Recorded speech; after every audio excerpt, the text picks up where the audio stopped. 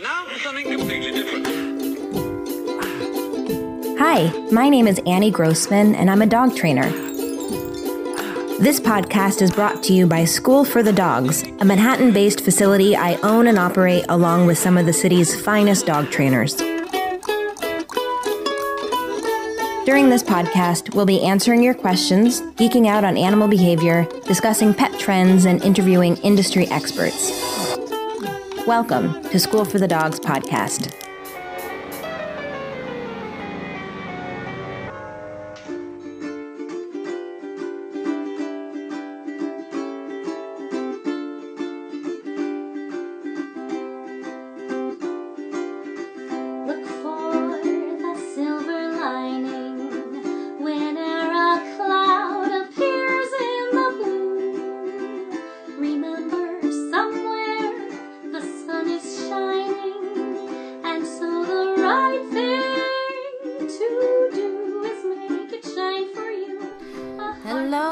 Everyone. Thank you for listening. Today, I am going to walk you through what I call the invisible triangle method of teaching look. Uh, I think look is a really excellent thing to teach any dog of any age. Some people call it uh, watch me or attention, whatever you want to call it. Basically, you're teaching your dog to connect their eyes to your eyes on whatever cue you give. And of course, that cue, uh, today we're going to use look, but you could be using their name. You could say eyes.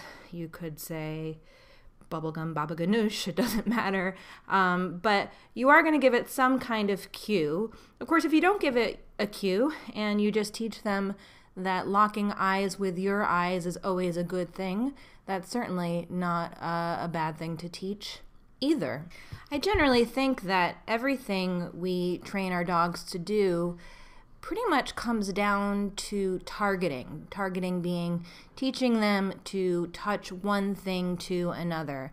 Of course, pretty much the first thing I teach every dog I work with is to hand nose target. So to touch their nose to my fingers, uh, to my hand, or to touch their nose to an object. And while there are lots of reasons that I like to teach this specific exercise, the big reason is that I think of it as a building block exercise that you can use to teach lots of different things because really what you're teaching is if you touch X to Y, then good thing happens and basically everything you're ever going to train your dog comes down to something that can fit into that equation. Sit is if if you touch butt to ground. Down is if you touch body to ground. Go to the crate. Well, that's if I touch body to crate. And I think that teaching look is really just the same thing, except it's if I touch my eyes to my human's eyes, a good thing happens. And like I just said, certainly if that becomes just a default behavior, it's never going to be a bad thing. Since if your dog locks eyes with you, you certainly have your dog's attention, and then that's a great starting place for getting your dog to do whatever it is you want or need him or her to do. So, there are many ways of teaching look. This way that I came up with is one I like because we're really just going to break it down to its smallest components and it is almost all work that you are going to do. We're going to ask very little of your dog. So while I would like you to have your dog in the room with you while you work through these steps that I'm going to outline, your dog is going to have a pretty easy time of it. And uh, if you have a friend or a partner, someone you do training with, who you can have with you uh, as you go through these steps, I think that's a good idea. We are going to use exactly 60 treats. But if you want to start by counting out 120 treats, uh, I think it's wise because you can do one round yourself, and then your partner can give you some feedback, and then your partner can do one round and you can give feedback. Or you can go through all the steps yourself and then do another round with another 60 treats in a new spot, whether that's a new room or maybe even in a quiet spot outside. But you can go ahead and start generalizing this training to new spaces right away. Now, I know you might be thinking 60 treats, 60 treats times two, that's 120 treats. Is Annie crazy? That's ridiculous. But keep in mind, I want your treats to be as small as you can get away with. Uh, you can get 60 treats out of half of a hot dog if you quarter the hot dog and then slice it real thin. If you're using pencil eraser size treats like uh, Tricky Trainers, which I really like, which we sell at school and at storeforthedogs.com, then you only need 15 of those treats because each one you can kind of use your thumbnail to break each one into four pieces. Or you could use like a food roll. We recently started carrying the Happy Howies line of food rolls at uh, at our studio and at storeforthedogs.com. One of those, a couple thin slices chopped up will bring you to 60 treats. Um, I mean, you could even use a bowl of kibble, you, or you could break each piece of kibble de- into a couple pieces, depending on the piece of kibble you're using. But part of the reason why I want your treats to be really, really small is because I want your dog to swallow them really quickly because we're going to be going for speed here. And if your dog has to do a lot of chewing in between reps, it's going to slow you down. Also, if you use something really crumbly and your dog is looking to pick up the little crumbly pieces, that's also going to slow you down, which is one reason why kibble might not be the best choice depending on the kind of kibble you're using and and your dog. Uh, so think about what your dog is going to be able to swallow super fast and that uh, not going to end up in crumbs on the floor. All right, so what you're going to do is you're going to first count out 10 treats. I want you to hold those 10 treats in your non dominant hand, the hand that you do not write with. So I'm a righty, for me, that's my left hand. And uh, if you're going to use a clicker, you're going to hold the clicker in the same hand. Now, we've talked about using a clicker before. It's not required, but it is going to be useful to have some kind of marker for this exercise. When I don't use a clicker, I use a word. The word I usually use is yes and uh, you're welcome to use either a clicker or a yes for this exercise. I don't usually suggest using both just because it's overkill, and our goal is to be giving uh, minimal, very clear information. Um, and I think using a clicker and a yes at the same time is just more information than we really uh, need to be giving. So you have your 10 treats and your clicker in one hand. You're not going to be using your clicker just yet, but we are going to be using it shortly, so I want it ready to go. Your other hand should be empty, and I suggest you do this exercise kneeling on the floor with your dog in front of you on some kind of mat. Now, like I said, we're not asking very much of your dog for most of this exercise. So I actually don't really care very much where your dog is or what he or she is doing. But I do suggest having some kind of training mat out. I like using a training mat anyway. Um, and you're going to be placing the treat onto this mat, ideally on the same spot on the mat uh, regularly. So I have a feeling your dog is going to end up on that mat interested in that specific spot where the treat is appearing. So you have your 10 treats. Your first treat is going to be kind of like a freebie treat.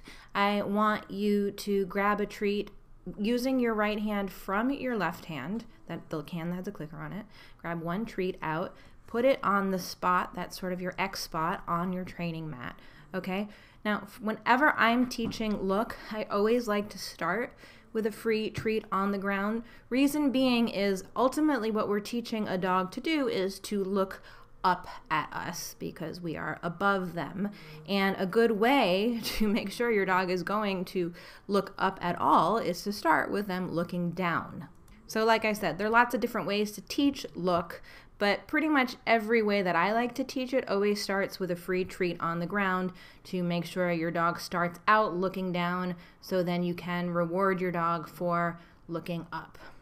Now, this treat that you just put on the ground, this is going to be point one of your three point triangle. Point two is going to be your left hand if you have your treats in your left hand. Your Point two is going to be your right hand if you have treats in your right hand. Um, and then point three is going to be your forehead, kind of in that third eye spot. All right. So we are going to go through the 10 treats in your hand, uh, going one point to the other to the other. And I will uh, say it out loud to help you get it right. So, Point one was the treat you already put down. Point two is going to be taking that treat out of your hand. Point three is going to be your forehead. And then you're going to put the treat back down on the mat at point one. Now you're reaching into your hand, grabbing a single treat, putting it to your forehead, putting it back down on the mat at point one. Now you're grabbing a treat from your hand, putting it at your forehead, back down at point one. Treat from hand, treat to forehead, back down at point one. Treat from hand, treat to forehead, back down at point one. Now, what is your dog doing while you're doing this? I don't care. Well, we'll get to that. but I'm going to guess your dog is interested in the treats that you are putting on the mat. Okay? Once you've gotten through these 10 treats, we're going to move on to step two. Again, you're going to start with that freebie treat on the mat right in front of you. Now you're going to reach into your, your pocket hand, let's call it, your point two, grab that treat, and you're going to bring the treat to your forehead. Now, the only thing that's going to change this time is that as soon as that treat touches your forehead, aren't you excited to have uh, some hot dog grease on your forehead right now? as soon as that treat touches your forehead, I want you to click. Or if you're not using the clicker, you're going to say yes. Uh, but point three is now going to be marking that moment. And usually we click when your dog does something uh, to mark the moment that they do something that we like. I'm switching things up a little bit. You're clicking yourself here, okay? I promise this is not forever. This is only for one small part of this exercise. So you're going to start again by putting a freebie treat down on your preferred spot on the mat, grabbing another treat from your pocket hand. That's going to be your point two. Point three is again at your forehead, except this time when the treat gets to your forehead, you are going to click. So, treat one on the ground, treat two from your hand, treat three at your forehead, and clicking when you get there. And you're going to do this 10 times and uh, it really shouldn't take you a whole lot longer than, oh, I don't know, 20 seconds to get through 10 treats like this. And again, do not be concerned about what your dog is doing. In fact, if uh, you find you're too distracted by your dog, do it with your eyes closed. We are still in the human practice portion of this training exercise, and uh, your dog should be expected to do nothing except eat the treats that you're putting down on the mat. So, treat on the ground, picking out a treat from your hand, putting a treat at your forehead, clicking when you get there, and then putting that treat on the ground, getting another one from your hand, clicking at your forehead, putting the treat back down on the ground 10 times. Got it? All right, great. Good job. All right, if you want to take a quick break, wash that uh, hot dog grease off your forehead, you are welcome to. Uh, and our third stage, our, our treats numbers uh, 21 through 30, are going to be used doing pretty much the same exercise you were doing before. We're just going to change one small thing, and that is you are going to start adding in the word look. Now, like I said, you don't have to use the word look. You could use another word. You could use your dog's name. Not a bad idea. In fact, you can do this exercise and teach it with multiple words. After you teach look, you can go ahead and teach eyes or watch or whatever. You can teach your dog's name like this. The only reason I suggest using something other than your dog's name at this point is because I'm guessing you've probably used your dog's name to mean many things in the past, and I want you to pick something that's kind of brand new, something that doesn't have meaning to it. And I like look rather than watch me or look at me, just because it's a thing that you can say very quickly and crisply.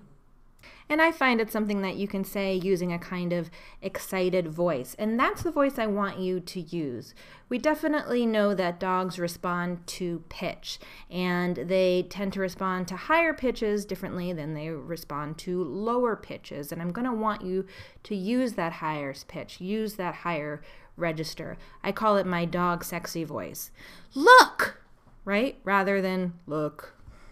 It's kind of like higher higher voices, higher pitches tend to attract a dog. Lower voices tend to sort of encourage distance between a dog and, and wherever the voice is coming from. And I say that because it's not always a human. Certainly, dogs use pitch with each other, and uh, you know, there's a difference between that kind of puppy puppy sounds of you know, mommy come to me, and or woof, you know, like get away from me. I want distance between me and you, kid, kind of voice. All right, so you got your next 10 treats in your hand. You start out again, freebie treat on the ground. Grab the next one from your pocket hand, your point two. Point three, you're going to bring that treat to your forehead. Now, when it gets to your forehead, you are going to say, Look, and then you are going to click. So, same exercise as before, except you're saying look before you click and you're saying look the second that treat gets to your forehead. And then bring that treat back down to point one. All right, so now it's at point one. Grab a new one from point two, your pocket hand, bring it to your forehead. Look, click, and then back down to point one.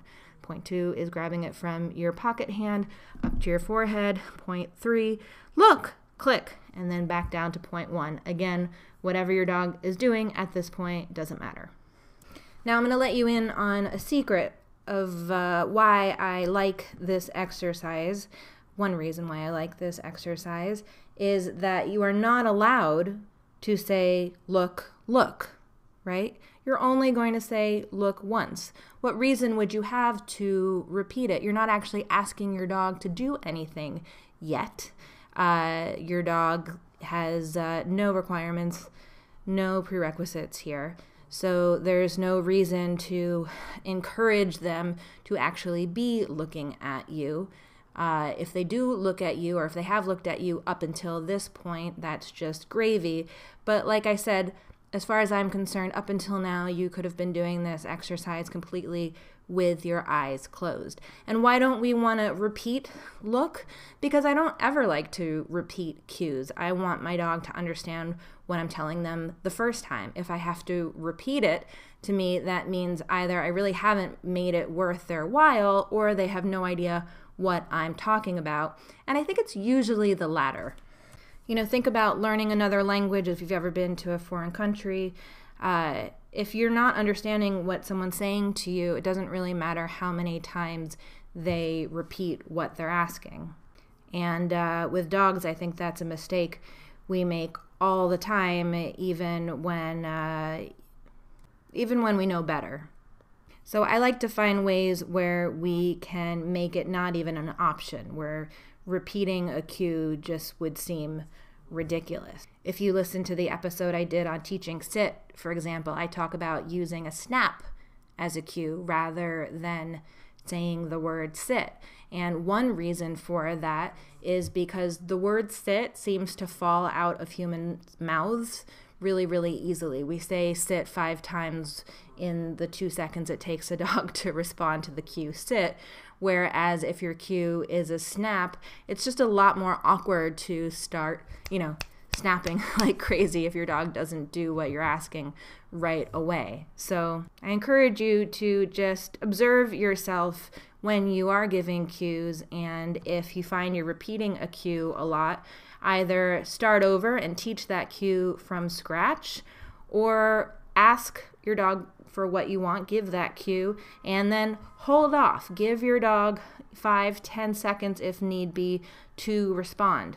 Part of training is shaping that distance between when you ask for something and when your dog does what you ask him to do, shaping that amount of time to the point where it's shorter and shorter, and practice will get you there. Okay, sorry to go off on that tangent. But now uh, we are, for this fourth step, we are finally going to set some criteria for your dog, who I hope has at this point uh, become pretty interested in just hanging out right in front of you and uh, probably in trying to figure out why you are holding this piece of hot dog in between your eyes all the time. So, step four is going to be identical to step three, except after you say look, I want you to actually wait for your dog to look up even a little bit, and then you're going to click. So, if this is the first time you're going through these steps, I don't want you to wait for your dog to lock eyes with you like you're Ingrid Bergman and this is the end of Casablanca. I just want your dog to look up at you at all. And that might mean picking a specific criteria that uh, is unique to your dog. For instance, sometimes if I'm working with a French bulldog or a dog who has those kind of big bat ears like that, I'll decide I'm going to click the second I see the inside of that dog's ears. Or maybe your dog has a little patch of white on his or her chin you can decide you're going to click the second that they're looking up enough that you can see that patch of white.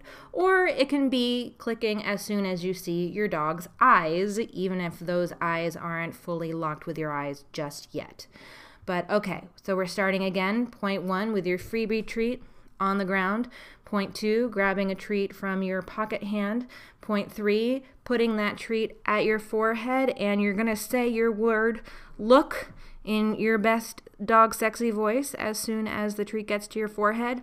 Now you're waiting just a beat, waiting for your dog to look up at all. Again, remember this is why we put the treat on the ground to begin with to encourage your dog's head to go anywhere other than down. Your dog's head is gonna have to go up, and you're gonna click, and then the treat is gonna come back down at point one. Grab another one from your pocket hand, point two, up at your forehead. Say, look wait for that looking up just a little bit, click, and then treat back at the ground. Remember, you're not allowed to say look more than once, but you can use your tone of voice to kind of help your dog look up at you. And I'm going to guess that if you're using the right tone of voice and if you're holding a piece of hot dog between your two eyes, your dog is going to want to look up at you. All right, nice work here. We are more than halfway through this exercise. Now for the next 10 treats, treats number, uh, where are we? I guess 41 through 50. We're going to give your dog a break again, no criteria again. You know, we're sort of, uh, we're sort of ping-ponging back and forth between criteria for you and criteria for your dog, and right now it's on you again. This time, your triangle is going to take on a bit of a weird shape kind of the shape of like the sail of a boat or like a kind of uh, wonky bicycle seat. Your first point of the triangle is again going to be that freebie treat on the ground.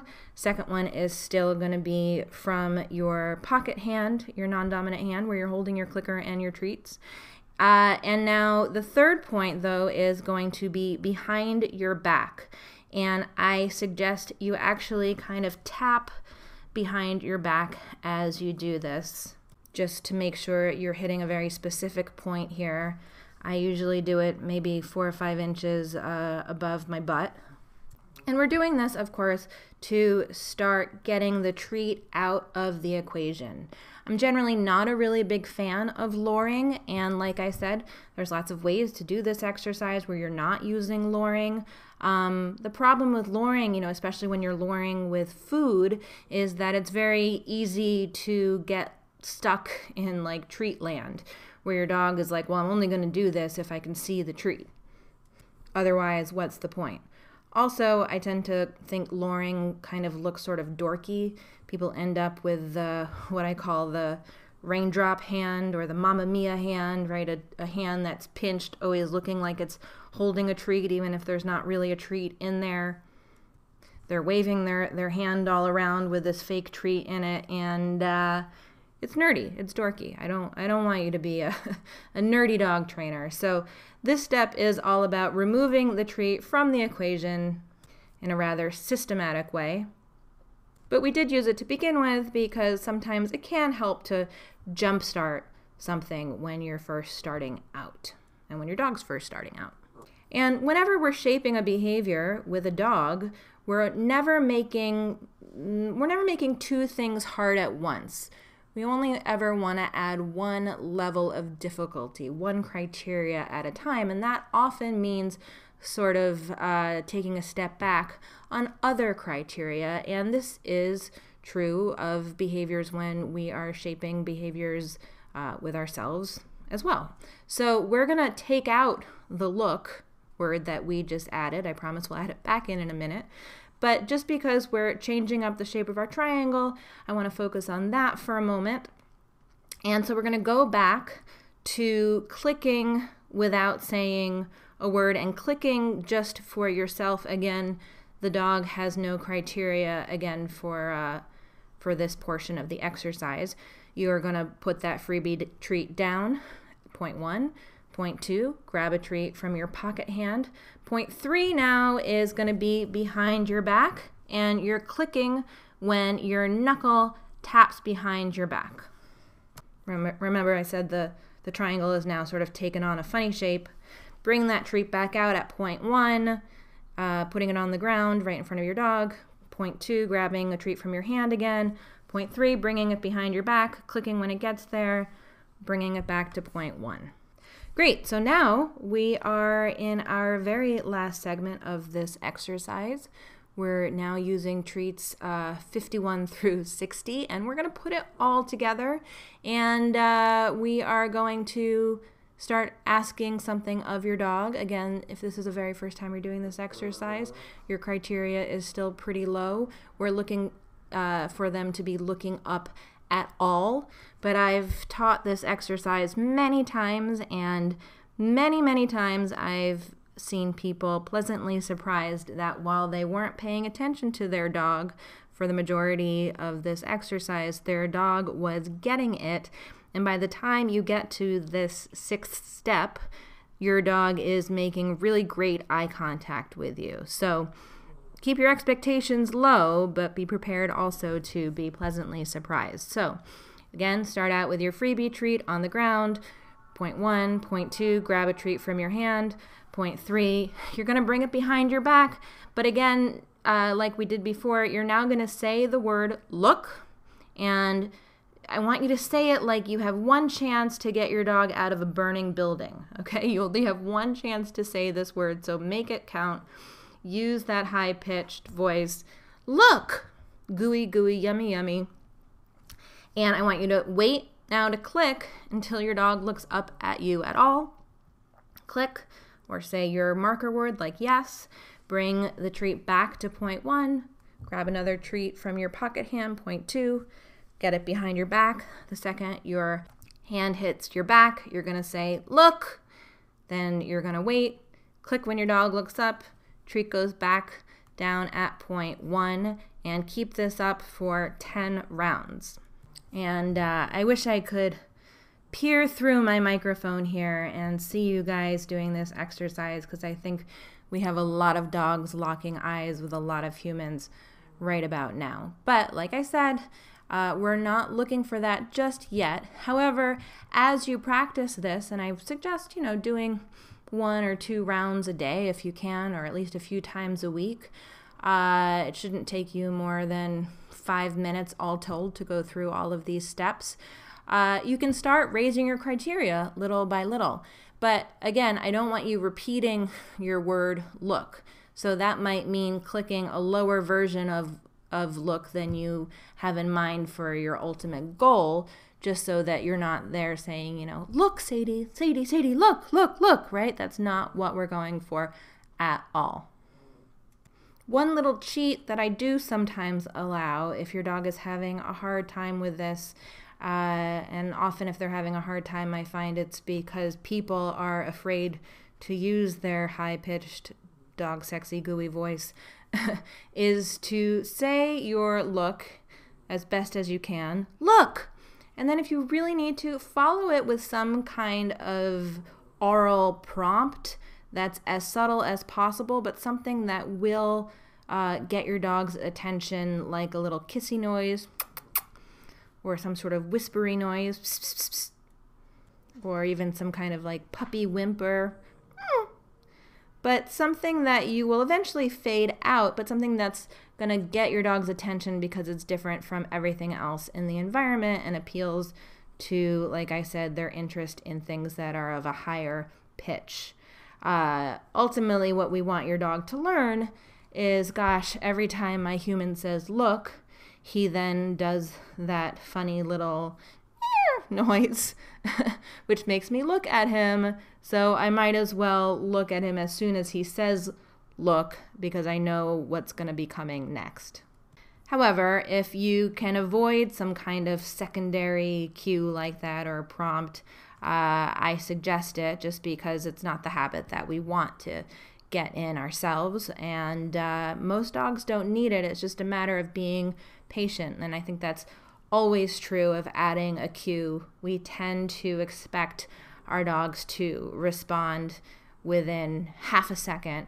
And, uh, you know, sometimes they need two or three seconds. And uh, you need to breathe and wait for the response that you're looking for rather than trying to help them. Or you need to roll back your criteria and uh, reinforce some lesser version of the behavior so that they don't lose interest.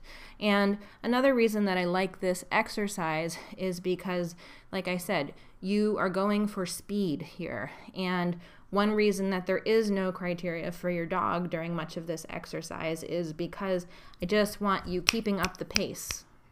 I don't want you waiting to see if your dog is figuring things out. I am going for quantity over quality. And in my experience, if in something like this you focus on the quantity, the quality of the behavior will get there uh, faster than you expect. So, if you've been working on this with a partner, I suggest switching now. Ask for some feedback from your training partner. Uh, and now it's your turn to critique their work. Have them go through these six steps. Or if you've been working through the steps alone, if your dog still seems into it and uh, you think your dog still has some room left in his or her tummy, uh, go try this in another room.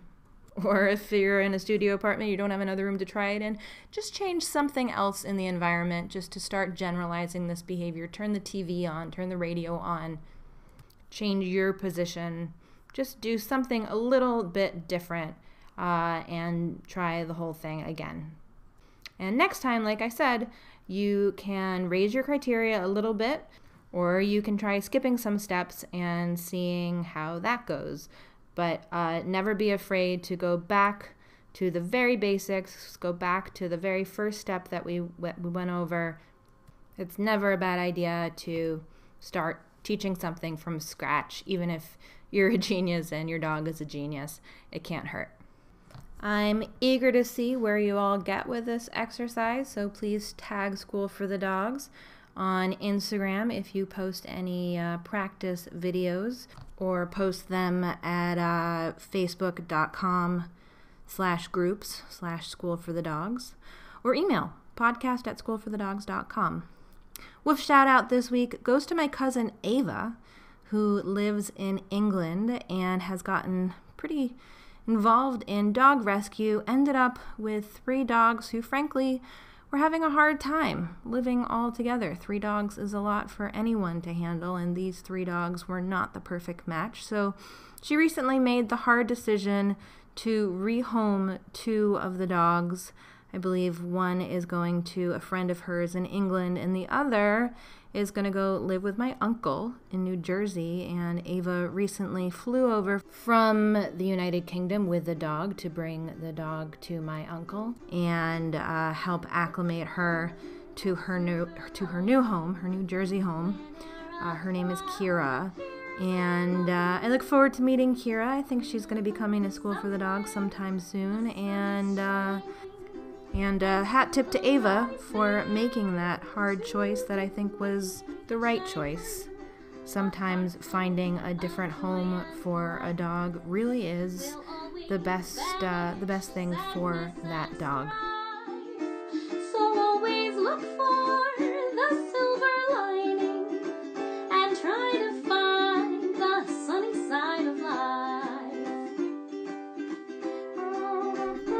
Fun dog fact of the day someone recently told me that Trump was the first president to not have a dog. And uh, I thought that didn't sound quite right.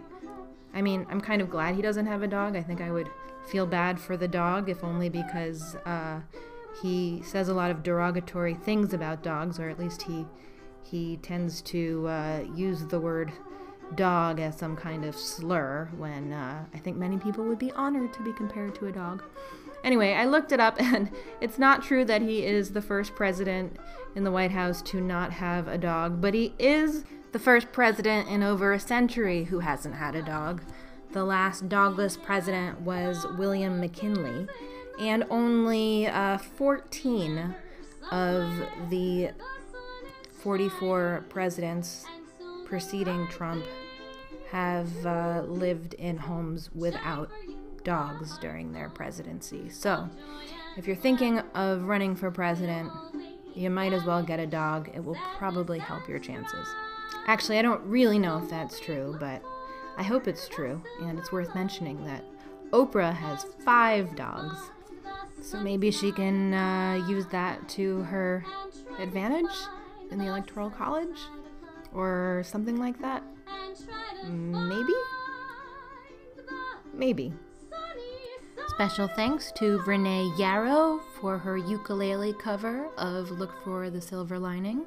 And as always, to Alex Chris for producing this podcast. Thanks so much for listening.